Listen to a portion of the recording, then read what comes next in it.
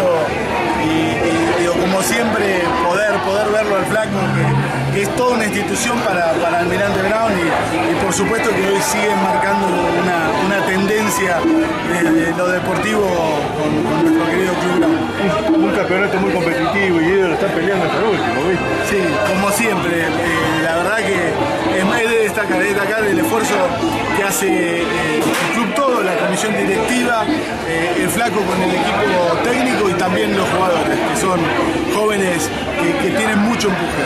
Flaquito, ayer no, le dijiste Ciudad 1, ganamos. Hoy estás en el club Almirante Durón Viejo, al lado del intendente. ¿Qué nos puede decir? Es un orgullo, es un orgullo estar al lado de Mariano, saber que, que nos está acompañando. Nosotros sabemos íntimamente que él nos está acompañando para la campaña de Bron y vamos a hacer todo el esfuerzo, ojalá podamos entrar al reducido para, para poder darle al Mirante Brón eh, una posibilidad de ascenso a la, que sería un sueño hermoso, ¿no? Pero bueno, ojalá se nos pueda dar. algunos años atrás te reconocimos, te acuerdas con el viejito Promola, esas campañas que hacía la primera vez, que otra vez se repite, flaco. Ojalá, ojalá, eh, esto es todo trabajo, no hay, no hay ningún misterio, pero también como dijo Mariano, yo tengo que estar tengo que estar agradecido a lo que es la comisión directiva, a su presidenta, Adrián Bairo, que en momentos difíciles supo apoyar el, proyecto y pudimos sacar esto adelante.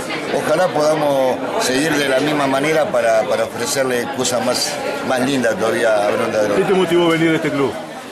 una invitación de, la gente de parrilleros y sabía que festejaban acá algo, que creo que es el aniversario del club.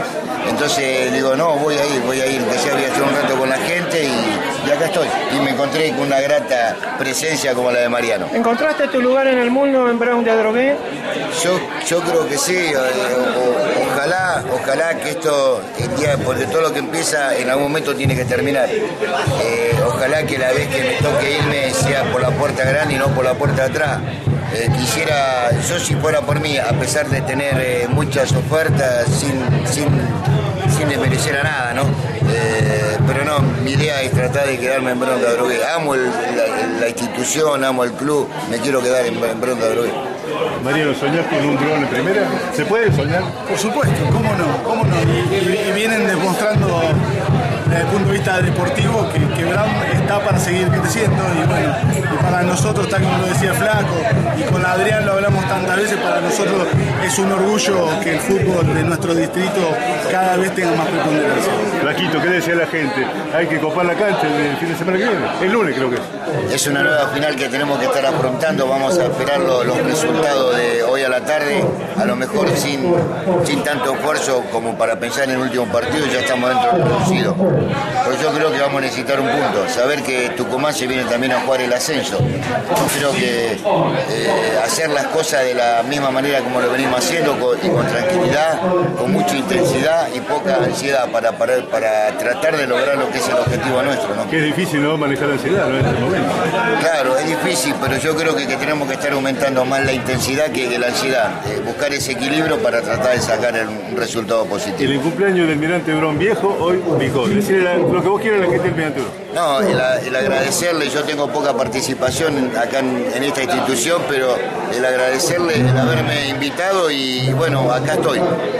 Gracias, Flaquito. le, demos la palabra final al intendente que seguramente tiene mucho que decir en el cumpleaños 96 del Mirante No, la verdad destacar la comisión de este club, recién hablábamos con Pablo, Marcela, Fernando, Marcos, todo un grupo de, jóvenes de acá del barrio que, se pusieron esta institución al hombro y que todos los días van haciendo una mejora con un objetivo muy concreto, trabajar con la comunidad, trabajar con los vecinos, con las escuelas del barrio, con otras instituciones del barrio, generando a través del deporte eh, mejor, mejor calidad de vida para, para, nuestros vecinos. ¿Qué significa ser generador de historias como estas y que vos formás parte hoy? Sin duda un orgullo, un orgullo de que, podamos trabajar juntos. El Estado municipal tiene la responsabilidad de trabajar en todos los ámbitos del municipio eh, y no lo podría hacer de la manera que lo hace si no es a través de las instituciones intermedias. Por eso, para nosotros es una fuerte responsabilidad articular con todos los clubes de nuestro distrito y este club, insisto, eh, un grupo de jóvenes se lo puso al hombro, lo mejora día a día y además no se olvida de sus socios fundadores, por ejemplo, como estuvo acá hoy Matiachi, que, lo reconocieron por, por toda la trayectoria que tuvo en este club. Gracias.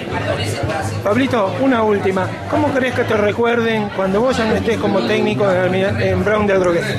Como persona, nada más. Tratar de, de cada día eh, eh, esforzarme y ser cada día mejor persona, que es lo que más me interesa. Olvídate lo deportivo. Gracias, Pablo. No, gracias a ustedes.